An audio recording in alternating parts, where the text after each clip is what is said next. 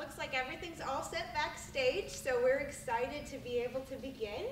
Uh, my name is Rachel Northrup. For those of you who don't know me, I am the director of this production, and um, this is run by the Faith Promise Players, and we want to glorify God in all that we do.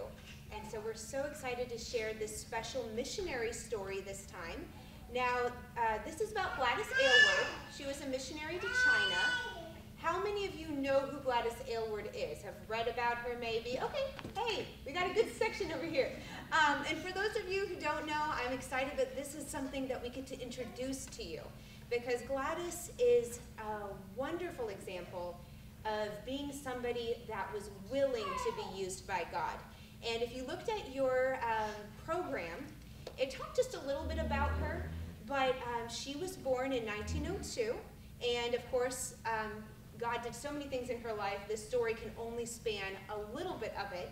But uh, one thing that I really wanted to focus on was um, her being willing to be used by God. And uh, she read this magazine about how there were millions in China who had never heard the gospel. And she immediately was kind of stunned by it, decided that she wanted to do something about it. So she started asking people to go to China. And she was looking for the best for God. She wanted the people that were intellectual, the people that were wealthy, that had influence. And none of them wanted to go. And she finally asked her brother, and she had decided if he said no, she was done asking people. But he turned it on her and said, Well, why don't you go? And she thought about it, and after a while, she decided that she'd never ask somebody else to do the calling that was really for her. But Gladys came from a poor family. She hardly had any education. And actually, she failed in the mission school. They um, said that she was too old to learn Mandarin, but God still used her anyway. And all of us have something special that God wants you to do, and it doesn't matter what you don't think you have because he can use anybody that's willing. So that's something that I want you guys to think about as you watch this show. Um, it does take place, like I said, in the early 1900s. Um, we are starting the story when she first comes into China. And at that point, and throughout the story, because we kind of had to cover a long period of time, um, it does start to get into World War II time, just so you guys are kind of a little bit aware of the background. Uh, some of the students are going to play multiple characters, so you'll get to see them uh, have different personalities, which is always fun. And uh, this space is going to represent multiple locations. Um, we welcome you to take any pictures as you like, but if you could silence your cell phones just to not distract the students as much as possible. And um, I'm going to pray and then we'll get started. Dear Lord, thank you so much for this amazing opportunity that these students have to share the story of Gladys Aylward, uh, somebody that you were willing to use. And thank you that it doesn't stop there because you're willing to use all of us, Lord. And I ask that you use all of these students tonight, that they can present the story well to the best of their ability and even better than they've done before. And also that this audience will be able to leave knowing more about you. And we praise you, Lord. In Jesus' name, amen. Hmm.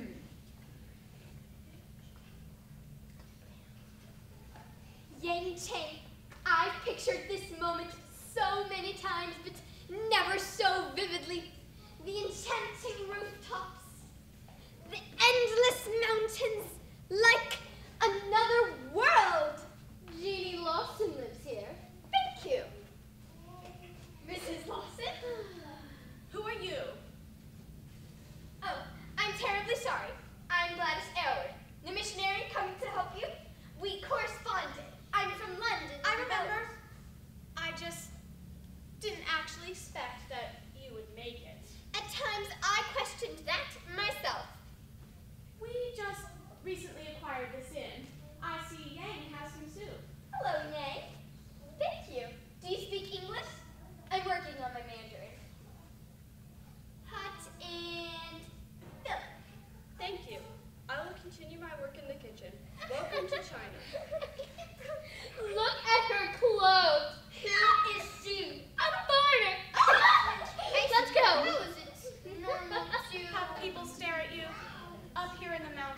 people don't see many foreigners. I'm eager to learn under you, but where is your ministry? I'm afraid I'm about to disappoint you, Gladys. In China, the entire idea of God's love is foreign. Connecting is a process. What do you do, Mrs. Lawson? I pray, and every day I work on the next step. But how do you know what the next step is? Don't think of it as so mysterious. Every moment doesn't contain life-changing decisions. Be faithful in the simple, and He will show you. When could we go into the city? I'd love to see the people God has sent me to. When Yang visits the market, you may venture a little into the town. I will take you.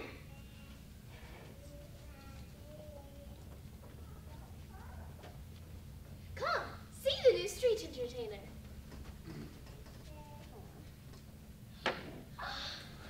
So many ancient temples and such poverty.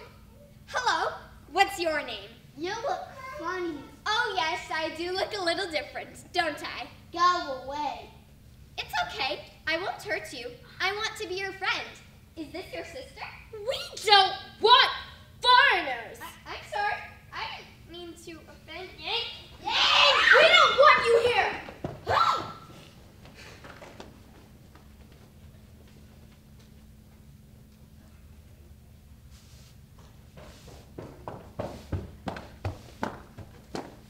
How was your trip into town? Mrs. Lawson, they hate me. They threw mud and sticks and they yelled. I've never endured a worse welcome. They don't know the God we know, Gladys. We cannot expect them to act like it. This is not England. How well I know. Gladys Aylward, did God call you to serve in China? I thought he did. Everything that God did pointed me here. It just- Everything that God did. Does that sound like something that you should give up on? Mm, no, I just Did you expect opposition to fulfilling God's purpose in your life? Let me tell you something, Gladys Aylward. If God has called you to China, He's got a lot more planned for you than to run away from a little mud.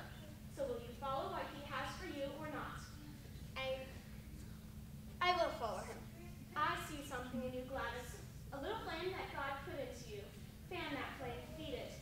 Don't ever let Satan put doubt into you again, because Satan plays for keeps. And we have too much work to do to let him get us off track.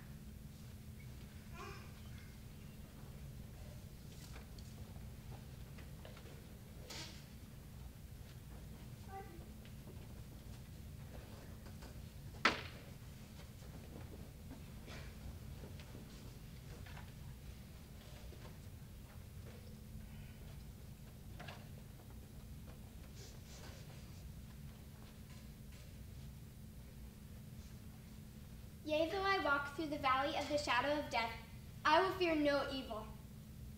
Even I can't believe Jeannie's gone. Mrs. Lawson was a good woman, even if she did try to take over my kitchen when she first came. What will you do now? I don't know. Continue on, I suppose. The inn operates well. Do you have enough resources? Funds are a little low, but I've learned that if God calls, He will provide.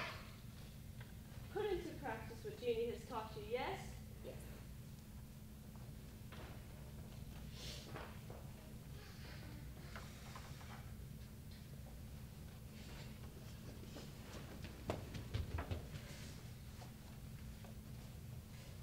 I knew that you wouldn't be able to resist adopting a child. There are too many orphans without homes. Somehow, I know God gave me this child. A woman on the side of the road offered her to me for nine pence. She would have died otherwise. Her parents were likely poor and did not wish to keep her. Or worse, the woman stole her to sell. My poor sweet girl. She needs someone to show her she has value. Did you want some hot food? Let me try. Hello. Would you like to sit on a nice soft blanket? She dislikes me as much as she dislikes you. Lord, please help me to reach this child. Can I take your bowl? Okay. I'll just stay over here and talk, all right, Ninepence? So she has a name? That's what it took to redeem her. She will know that she belongs to me, and I pray that someday her soul will belong to God.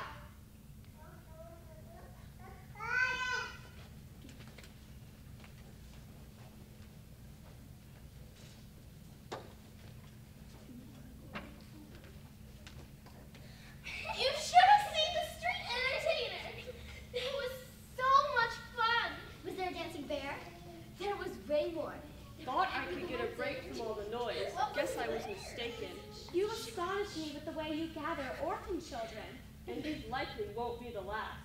Are you talking of the Japanese attacks? We don't have much to tempt the Japanese army. If they come, what will we do about the children? Do our best to keep them safe. Sometimes I wonder if it's more than I can physically handle. Could I have been wrong? She wishes she didn't adopt me. Nine pence! What? Awaji doesn't like spying. I wasn't fun. I was. Was there something you wanted? It's your turn to clean the kitchen.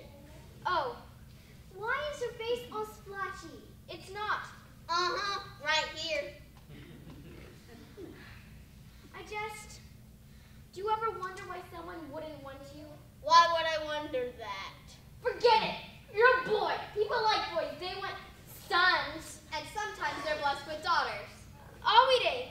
I think the inn is missing some of its top sweepers. On it! I always loved the first rays of sun in the morning. It's pretty. Did you know that God created each day unique, just like He created each little girl special? Do you ever wish you were back in England? That you didn't have so many children to take care of? I miss my family, but no, I wouldn't trade getting to meet you or Les or any of the other children. I'm so proud and grateful to be a Chinese citizen now, just like you. But you said you were afraid you made a mistake. Not about being here. Sometimes in my weakness, I try to do things in my own power. That's when I get scared. But it's God who gives us strength. Through Him, I'm strong. I want to trust God, but my parents didn't want me. What if. What if God doesn't want me? He wants you so much more than you can even imagine. Do you know how His Son Jesus came to earth to die for mankind? Yes, but I'm not mankind. I'm just me. Ninepence, He came for you. And He would have come if you were the only one. Really? The Bible says that before you were born, He knew you. He fashioned you and planned out the color of your eyes, your hair, the day and time you would be born, and what family you would be born into. And do you know what? What? God planned that one day, at just the right time, I would see you, and I would choose you to become part of my family. I'm glad. But do you know what is more important? That you belong to God. Only He can give you life, eternal life with Him forever. That's what He wants to do. Make you a part of His family. Can I be a part of his family still be a part of yours? You definitely can. In fact, I've prayed about that ever since I first met you. Would you like God to be your Heavenly Father? Yes. Dear Jesus, I know that you came to earth from heaven and that you died for me. But you didn't stay dead. You rose again so I could live too. I want you to be my Savior and to be a part of your family forever. Amen. Welcome to God's family. Ninepence, we're late for school. I'm coming. Kimmy can stop by the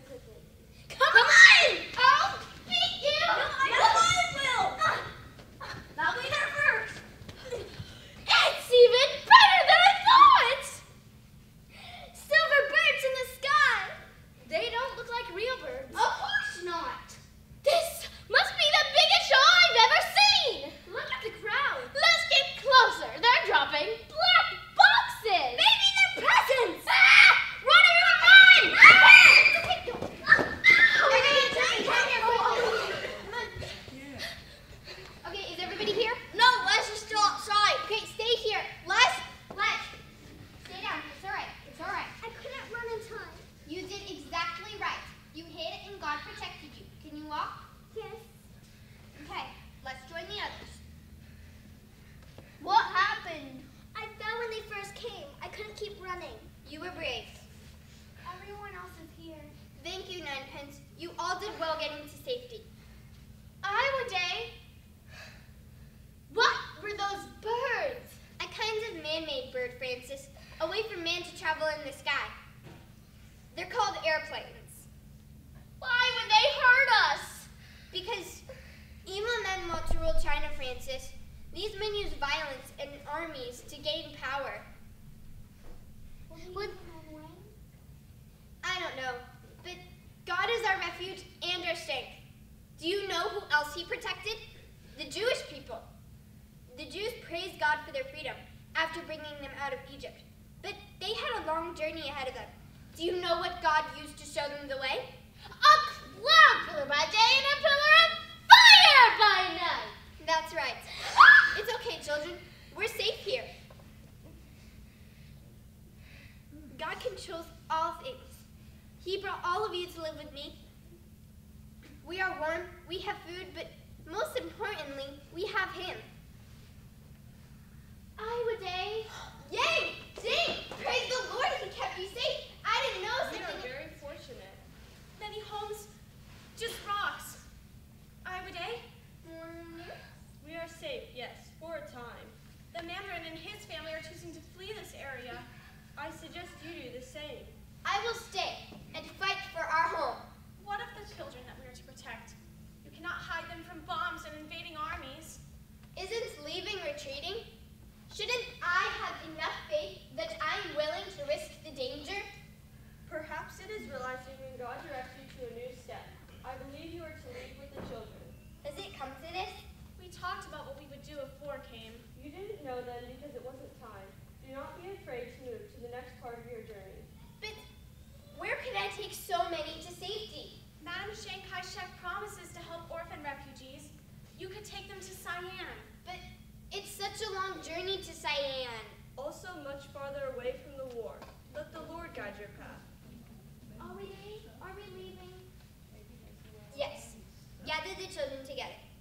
I will miss you, my friends. As will we. May God be with you and the children. Come, children. We are going on a long journey.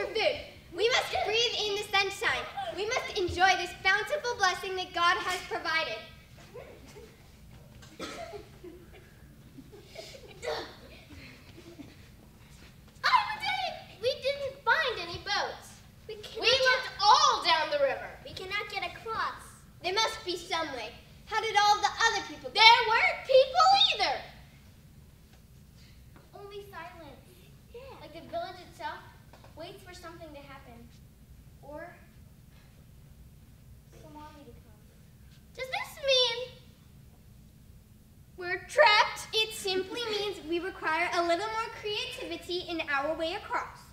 While we are waiting for our inspiration to catch up to us, we will feast on the new ninepence and hua have gathered. I'm sorry, Allie. We didn't find any. I refuse to believe that.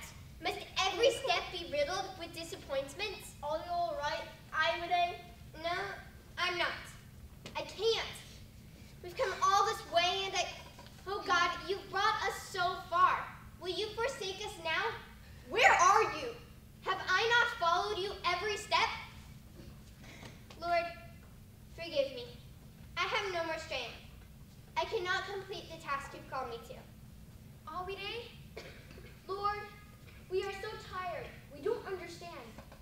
You've led us through the mountains. And now you've led us here. Give Ai-weh-deh strength. Do not forsake us. Please. It's just like Moses and the Red Sea. He couldn't get across either. I'm not Moses. I know, but Ai-weh-deh, isn't he the same God? Yes, yes, he is the same God. God, our Father, we need you now. You have been faithful to Abraham, Moses, and the children of Israel. And you have been faithful to us. And we trust you to bring us across the Yellow River. In your name, amen. Amen. Ai-weh-deh, has God parted the Yellow River yet? Let's see. it still looks the same, but God is working. I know he is. Can we get something while we wait? I keep thinking about my stomach. Me too. Yes, by all means, let's distract ourselves from our hunger. The children of Israel sang to thank God for his blessings. Why shouldn't we sing while we know that God will deliver us? Who has a favorite? Let's do the blessing song! That's perfect. We will thank God for his blessings. Count your many blessings, and one by one. Count your many blessings, see what God has done. Count your many blessings, name them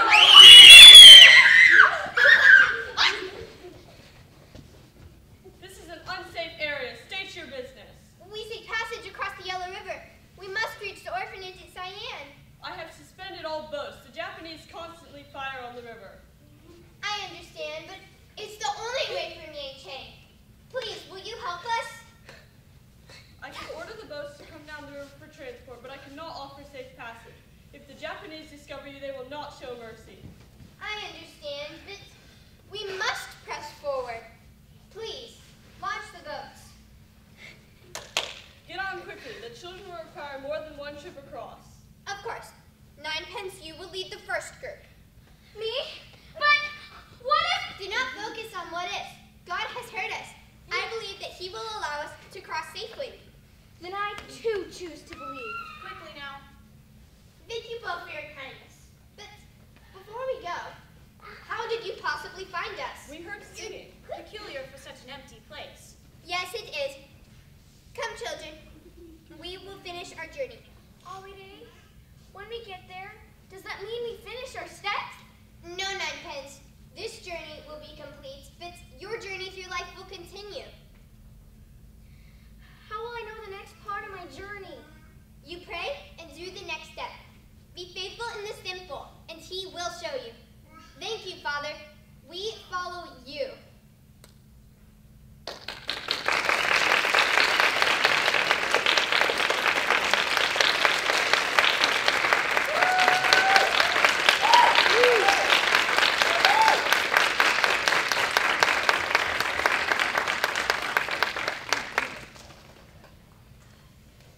Well, I hope you guys enjoyed that as much as we've enjoyed this process of putting it together. Um, before we finish, we're going to have Brother Clarence come and speak a few words. And then um, once he's concluded, the cast is going to come across here so that you can uh, feel free to congratulate them. And we'll go ahead and start the line this way, going here, just so that we don't have any traffic jams. So, Brother Clarence. I want to say, Cass, thank you for the wonderful journey that you took us on. We, we felt like we were on a journey. And we felt like with them, they were overcoming obstacles And maybe we could start to relate to that on our journey. Because we have obstacles too, don't we, sometimes? And does God call us all on a journey? Yes. He does call us on that walk with Him. And you're familiar with the words in the New Testament as our Lord and Savior Jesus Christ looked at Simon Peter. And he said, Come, follow me, and I'll make you fishers of men. You remember that. So Simon Peter and Andrew and James and John were fishers, fishers of men after they followed Jesus.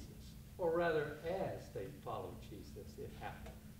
And on that journey that God calls us on, and I make the comparison today as if we're going on an airplane trip, and we look at how many bags we're going to carry on that airplane trip, and we make decisions about some things we can't take with us because they're too heavy or it's too much. And sometimes in our journey with God, there are things that are, are too much and they are too heavy and we have to leave them behind. I mean things like unforgiveness and, and, and grudges that we might carry on our journey. They don't belong on the journey. We don't want to take that extra baggage on that journey. Remember, the journey that we're on is going to be one for eternity. But along the way, just as they went along the way, God gives us the opportunity to walk with Him day by day. And His calling goes forth to us. Yes, will you come follow me? Yeah, no matter who, no matter where. We're all on a journey. We're all in a in a journey to follow with the Lord and to learn to hear his voice and learn, I love that, step by step.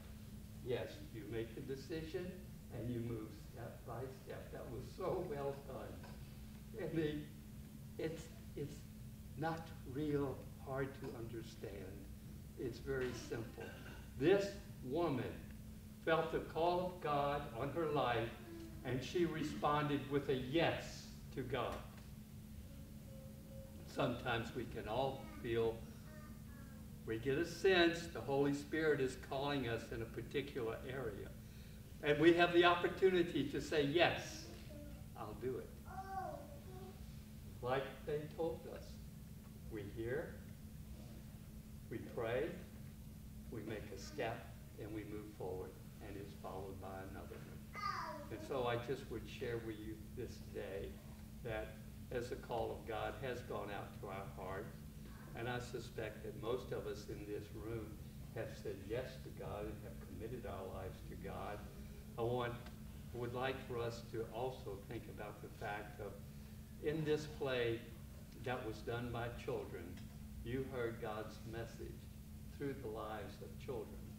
And this message is for children and adults. Come, follow me. But come, follow me. Let's all pray together, if you will.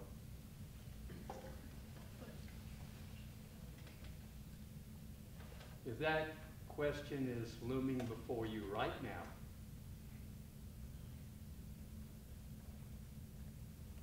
if you've been slow or never have given God that yes. Or it's been so long ago, it's been years. Give a fresh yes to God this night. And don't carry anything with you that is too heavy and going to keep you from making that walk with God. So, to our Holy Father, gracious, Almighty, Creator God who knows us individually by name. In Jesus Christ, the Savior of the world, our very covenant of life eternal, the forgiver of our sins, we again, in our hearts, say yes. We choose again this night to follow you. And we leave behind anything that we shouldn't be carrying on this journey. If there be any form of unforgiveness or bearing a grudge, if there be any unconfessed sins in our life,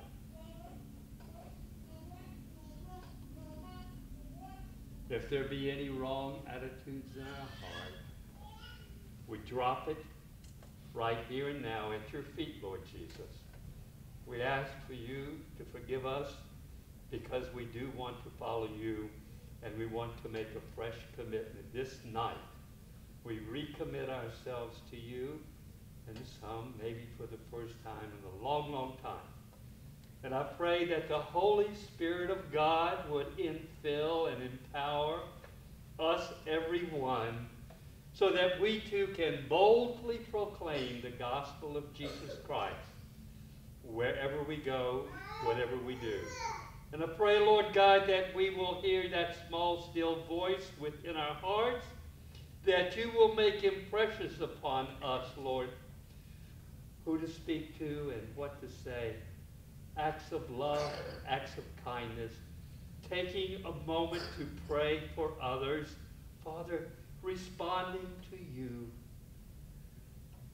giving us quiet time with you, whereby we may pray and read your word. It's our desire to follow you. We commit ourselves to follow you once again on this night in September 2024. In the holy name of Jesus Christ, the King of kings and the Lord of lords. Amen. We, uh, as Rachel has, has said this evening, and I think we have refreshments in the back, and we said that already, I think. You were welcomed at the doors with program. And we also receive a, a charitable free will gift, if you will, for an investment into this ministry. Yeah, yeah. And so we thank you for that. Thank you for considering that, and we thank you for coming this evening. Yes, ma'am. All right, well, this concludes our production for the evening, but I'm gonna have the cast come up now. And so feel free to get a refreshment, feel free to come up, uh, like I said, along this side to meet everybody, and we would love to be able to thank you personally for coming.